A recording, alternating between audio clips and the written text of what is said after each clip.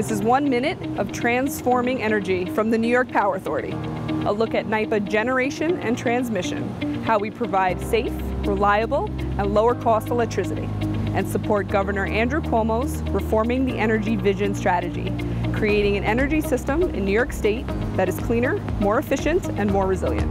The PV20 line is a transmission line connecting New York Power Authority's Plattsburgh substation to Velco in Grand Isle, Vermont. With this project, we installed two new transition stations and we placed three new conductors plus one spare under the Lake of Champlain.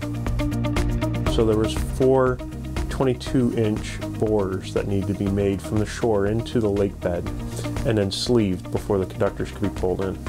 It's approximately 1.7 miles in length from shore to shore. The cable will spool off from a barge and then lays into the bed of the lake. There are multiple new sensors in the new transition station to be able to monitor the conductors. There is a new fiber optic cable along with power conductors to be able to communicate better with our partners Velco. It definitely is making a smarter system and a more resilient system.